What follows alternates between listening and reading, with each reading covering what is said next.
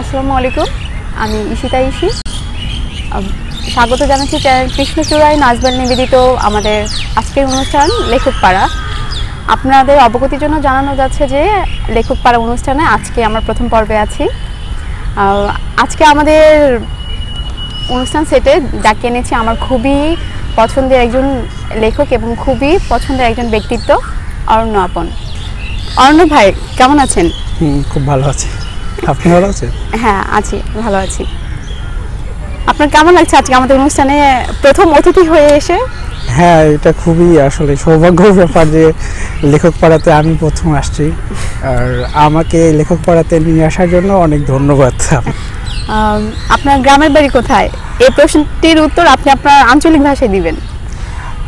আমার গ্রামের বাড়ি হলো বগুড়াতে। আমার গ্রামের বাড়ি হলো বগুড়াতে। এটা তো আমরা নর্মালি বলি। আমার আচ্ছা আমার আমার আচ্ছা, বাড়ি বগুড়ত বগুড়ত বগুড়ত আচ্ছা ঠিক আছে। এটা আমাদের আঞ্চলিক ভাষা। হ্যাঁ। যদি আমি খুব একটা মানে পারি না তারপরেও আচ্ছা। আমি খুব মানে তো আপনি বর্তমানে কি করছেন? আমি আমার বর্তমান অতীত ভবিষ্যৎ সবটাই হলো আমি লেখালেখি করছি। আচ্ছা আচ্ছা। তো আপনার প্রকাশিত বইয়ের সংখ্যা কত? আমার এ যাবৎ প্রকাশিত বইয়ের সঙ্গে এগারোটা। এগারো তার মধ্যে চারটা হলো মৌলিক আর বাদ বাকি সাতটা হলো অনুবাদ। আচ্ছা। এই যে আপনি এত লেখালেখি করছেন আপনি কাদের জন্য লিখছেন বা কেন লিখছেন? আমি লিখছি আসলে লিখি লেখা লেখা তো সবসময় মাটি এবং মানুষের জন্য। তবে আমি নিজেকে অনুবাদ করে চলছি। আমি কবিতা লিখি গল্প লিখি এবং উপন্যাস লিখি। আমার মনে হয় না যে আমি আসলে নিজেকেই লিখছি আসলে। এবং আমার লেখাতে যেটা আমি তুলে ধরার চেষ্টা করি মূলত সেটা হলো যে সমাজের যে অসঙ্গতি আছে বা সমাজ বা মানুষের প্রতি বা দেশের প্রতি মায়ের প্রতি যে অবিচার হয় অন্যায় হয় সেটাকে আসলে তুলে ধরার চেষ্টা করি। তো পাঠকরা কি আপনার বই কিনছে? হ্যাঁ পাঠকরা আমার বই কিনছে সেটা আপনিও আহ, জানেন নিশ্চয়। গত বইমেলাতে আমার অনেক একাধিক বই এসেছিল ষাটটার মতো বই এসেছিল। তার মধ্যে গালিবের বই আসছিল আল্লামা ইকবাল যেটা অবিভক্ত ভারতবর্ষের সবচেয়ে বড় কবি বলা হয়। এবং হাফিজ পারস্যের সব বড় কবি।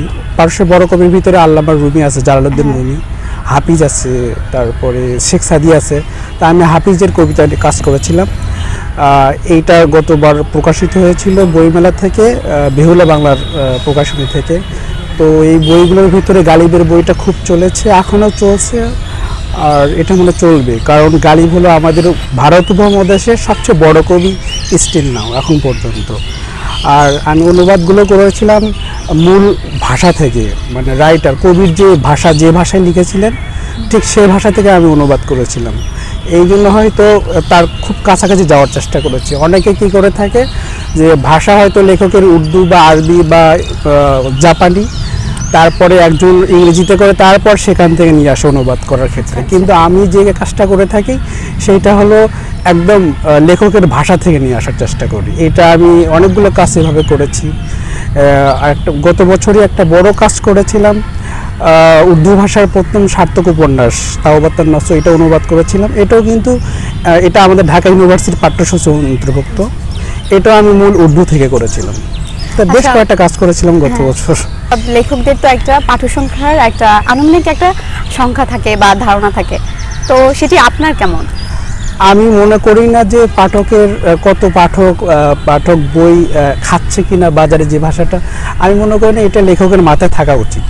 আমি মনে করি যে লেখকের মাথায় থাকা উচিত সে যে পাণ্ডুলিপি তৈরি করছে সেখানে সে কতটা দিতে পারছে এটা ইম্পর্টেন্ট আসলে পাঠক কে কীভাবে নিচ্ছে যাচ্ছে কিনা বইগুলো মার্কেটের কি অবস্থা এটা ভেবে যদি লেখক লেখা শুরু করে তাহলে মনে হয় না যে লেখকের কলম চলতে থাকলে এক এক সমাজে সেটা থেমে যাবে। তা আমি মনে করি যে আসলে একজন লেখকের একজন কবি তার কলমে জোর দেওয়া উচিত। এটা ঠিক বলেছেন। প্রিয় দর্শক আমরা এখন একটি বিজ্ঞাপন বিরতিতে যাচ্ছি। আপনারা দেখছেন নাজবেল নিবেদিত লেখক পাড়া অনুষ্ঠান। আমরা ফিরে আসছি আমাদের মূল আলোচনায়। আপনি লেখালেখিকে পেশা হিসেবে নিতে পেরেছেন? বা আপনি লেখক সম্মানী কেমন পাচ্ছেন? ঠিকঠাক মতো পাচ্ছেন কিনা? হ্যাঁ আমি লেখালেখি আপাতত এখন পর্যন্ত লেখালেখি আমার সর্ব সব কিছু আচ্ছা। এটাকে পেশা বলেন নেশা বলেন আর সব কিছুর ভিতরে আসলে লেখালেখি আমি। সকাল থেকে আমার রাত চলে যায় দিন চলে যায় লেখালেখি নিয়ে। হয়তো কখনো কলম চালে কখনো কলম থেমে দিই। যখন থেমে দিই এখন আমি মগজে আসলে লেখালেখির আহ, চেষ্টা করি। সঠিকভাবে লেখক সম্মানী পাচ্ছেন কিনা? লেখক সম্মানী আসলে লেখক সম্মানী সঠিকভাবে পাচ্ছি কিনা এটা বলতে পারব না তবে লেখক সম্মানী পাচ্ছি। আচ্ছা, আহ, তবে যেটা আশা করি সেটা আসলে হচ্ছে না এটার পিছনে অনেকগুলো কারণ আছে। আমাদের প্রকাশনীগুলো ওরকমভাবে পেশাদারিত্ব দেখাতে এখনও এখন পর্যন্ত পাচ্ছে না।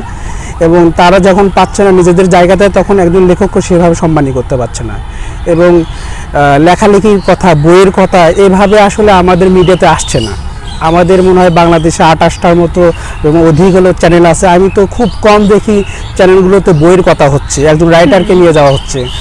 বইয়ের কাছে মানুষকে নিয়ে আসার জন্য যে প্রসেস থাকার কথা এগুলো মনে হয় না বাংলাদেশে খুব প্রপারলি হচ্ছে। যদি হইতো তাহলে লেখক সম্প্রদায় নিশ্চয় তারা ভালোভাবে আরও সম্মানী পেতেন। হ্যাঁ আমাদের আসলে বইয়ের কথা আরও বড় আকারে বলা উচিত। বই নিয়ে প্রতিষ্ঠা অনুষ্ঠান হওয়া আরও বড় হওয়া বেশি বেশি হওয়া উচিত। আমরা চ্যানেল খুললে কখনো দেখি না যে বই আলাপ হচ্ছে। একজন কবিকে নিয়ে যাওয়া হয়েছে একজন লেখককে নিয়ে যাওয়া হয়েছে।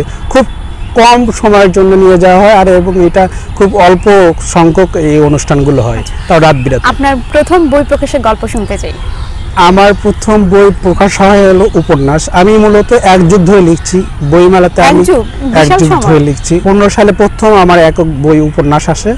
এবং এর আগে অনেক লেখালেখি করেছি। আমি যখন বগুড়ায় থাকতাম বগুড়া সালে আপনি তো ছাত্র ছিলেন। হ্যাঁ আমার হলো আমার ছাত্র জীবনে আমি এগারোটা বই লিখেছি। এবং ছাত্র জীবনেই আমার প্রথম বই প্রকাশ হওয়া শুরু হয়। যখন আমি ঢাকা ইউনিভার্সিটিতে সেকেন্ড ইয়ারে পড়ি তখন আমার হলো দ্বিতীয় বর্ষে আসার পরে আমি একটা আমার বই আসে অন্তঃশাসন্য এবং প্রথম বইটা আমার উপন্যাস ছিল। মূলত আমি উপন্যাস দিয়েই পাঠকের কাছে আসছি। এবং আমি একটা জিনিস বিশ্বাস করতাম যে আমার যেটা আপনি বলছিলেন যে পাঠকের কি অবস্থা আমি প্রথম থেকে আমার ধারণা ছিল বা বিশ্বাস ছিল আমাকে লেখালেখি দিয়ে আমাকে পাঠক করতে হবে। এবং সেই বিশ্বাস থেকেই আমি আসলে লিখছি। আর মূলত আমার আসলে এমনিতে মানুষ হিসেবে, সামাজিক মানুষ হিসেবে যে বন্ধু বান্ধব থাকার কথা আমি সেসব থেকে অনেক দূরটা আছে। আমার পুরো লাইফে কোনো বন্ধু বান্ধব হবে নেই। আচ্ছা, মানে আমি মনে করতাম যে আমার যে সময়টুকু আপনি আপনার লেখালেখির পেছনে দিতে পারছেন। হ্যাঁ আমার আসলে সবটুকু ব্যক্তি অরণ্য আপন আবার হলো লেখক অরণ্য আপনের মধ্যে কোনো খুব একটা পার্থক্য নেই। কারণ আমি সবটাই আসলে লেখার পিছনে দিয়ে থাকি। আচ্ছা। আমি অতীতও দিয়ে আসছি কথিত আছে যে আপনার পাঠকের মধ্যে নারী পাঠকের সংখ্যা বেশি। এর কারণ কি? আসলে এখন নারীর যুগ আসলে নারীরা সবচেয়ে এগিয়ে আছে। নারীদের রেজাল্ট ভালো হচ্ছে আমাদের নারী প্রধানমন্ত্রী বিরোধী দলীয় প্রধানমন্ত্রী নারী সব কিছুতেই নারীর একটা জয়গান আছে। সো নারী যে পাঠক হিসেবে বাড়বে এটা তো কিন্তু মানে চোখে বা কপালে ভাস পড়ার কিছু নেই এটা আসলে ভালো। আমার মনে হয় যে নারীরা পড়ছে। আর নারীরা আমার মনে হয় নারীরা বেশি পড়ে। কারণ নারীদের সেটা ঠিক আছে কিন্তু আপনার নারী পাঠকের সংখ্যা বেশি সবার তো এটা হয় না নিশ্চয়ই? এটা মনে হয় আমার সৌভাগ্য যে আমার নারী পাঠকরা আমার কাছে আসছে। আমি নারীদেরকে টাচ করতে পারি যাদেরকে আমার কাছে নিয়ে আসতে পারছে আমার বইয়ের কাছে আসছে তারা পড়ছে। এটা মনে হয় খুব একটা ভালো। আর নারী আসা মানে হলো শুধু একজন লেখক না একজন নির্মাতা বলেন একজন কবি বলেন একজন প্রকৌশলী বলেন তার কাছে নারীর ফিডব্যাক অনেক কিছু অন্য অন্য ফিডব্যাকের চেয়ে। আমি এটা মনে করি। তার মানে আপনি মানে নারীদেরকে ছুঁয়ে দিতে পারে এভাবে লিখছেন বা তাদের রুচিসম্মত বা তারা যেরকমটা লেখা চায় আপনি সেরকমটা লেখা দিচ্ছেন নিশ্চয়ই? না আমি তাদের কথা ভেবে লিখছি না। আসলে আমাকে হয়তো তারা ভালোভাবে বুঝতে পারছে সহজে নিতে পারছে এটা মনে হয়। আর নারী হয়ে সবসময় আমি ভাবি নারী সৌন্দর্যের প্রতীক। আর হলে লেখালেখি, সাহিত্য, কবিতা, গান, এসব সবসময় সৌন্দর্যের কাজ সৃষ্টিশীল কাজ। এখানে নারী আসা মানে সৌন্দর্যকে বৃদ্ধি করে দেয়। আর আমি মনে করি নারী ছাড়া কোনো সৌন্দর্য নেই। আর এটা আমি মূলত মনে করি। এই জন্য নারী আসা আমার জন্য পজিটিভ। আমি এটাকে সাধুবাদ। প্রিয় দর্শক, আমরা আবারও একটি বিজ্ঞাপন বিরতিতে যাব। আপনারা দেখছেন নাজবেল নিবেদিত লেখক পাড়া অনুষ্ঠান লেখক মোহাম্মদ সাইফুল ইসলামের রচিত সায়েন্স ফিকশন উপন্যাস প্রজেক্ট প্রজেক্ট প্রজেক্টাইল এখন বাজারে পাওয়া যাচ্ছে। সো আর দেরি কেন? আজও সংগ্রহ করে ফেলুন। আপনাদের সুবিধার্থে আমরা রকমারি ডট কমের অর্ডার লিঙ্কটা আমরা আমাদের ভিডিওর ডেসক্রিপশন বক্সে দিয়ে দিচ্ছি। আচ্ছা অরণ্য ভাই আপনি হ্যাঁ। কত নম্বর প্রেমে- প্রেমে আছেন? আসলে মানে আমি মনে হয় প্রথম ঢাকা ইউনিভার্সিটি স্টুডেন্ট হব যে প্রেমের জন্য আসলে ক্যাম্পাসে আমি আসছি। অনেকে আসে বড় বড় বিশেষ ক্যাডার হওয়ার জন্য বড় চাকরি করার জন্য। আমি মনে হয় এইসব স্বপ্নকে মানে না নিয়ে আমি আসলে প্রেমের স্বপ্ন নিয়ে আসছিলাম। এবং হ্যাঁ প্রেম আমার জীবনে আসছে। আমি পাঠকের প্রেম পেয়েছি অনেকের প্রেম পেয়েছি। তবে মূলত যে প্রেমের জন্য আপনি জিজ্ঞেস করছেন সে প্রেমের জন্য অপেক্ষা চলছে। তবে প্রেম না আসলে আমার কাছে কবিতা আসে। আমি অপেক্ষা থাকি কখন কবিতা আসবে, কখন প্রেম আসবে। হয়তো প্রেম আসে না, কবিতা আসে। আর হলো মূলত মনে করে আমার কাছে কবিতা আসাই মানে হলো শাশ্বত প্রেম। আমি কবিতাকে শাশ্বত প্রেম ভেবে জানি বা বিশ্বাস করি। কবিতার চেয়ে মানুষের একজন কবির কাছে বড় প্রেম আর হতে পারে না।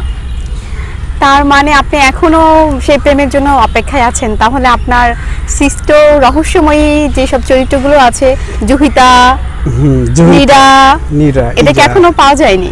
আচ্ছা জুইতা যেহেতু আমার কাছে ওইরকম সশরীরে কেউ আসেনি আসেনি এই জন্য আমি একটা চরিত্রকে ধরে নিয়েছি। যেহেতু আমাকে লিখতে হয় আর হাসান আজিল হক এক কথা বলতে তিনি কখনোই কল্পনা আশ্রয় নিতেন না লেখালেখির ক্ষেত্রে।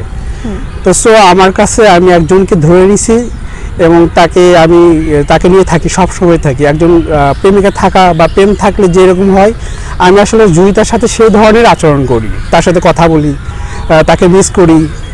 আবার সে যখন আসে, সেটাও আমি টের পাই যে এখন জুহিতা আমার কাছে আসছে। তা জুহিতা আসলে এরকম রক্ত মাংসের কেউ না, তবে সে একজন আছে আমার, যাকে নিয়ে আমি মূলত সে আমার কবিতা মূলত আচ্ছা তার মানে জুহিতা নীরা এরা সবাই আপনার কবিতা। হ্যাঁ এরা আর সবাই এরা আমার সবসময় হলো সঙ্গে থাকে। হ্যাঁ আমার সঙ্গে থাকে আমি এদের সাথে বিরহ চলে প্রেম চলে। কবিতা হলো প্রেমিকার দূরত্বকেই কবিতা বলে জানি।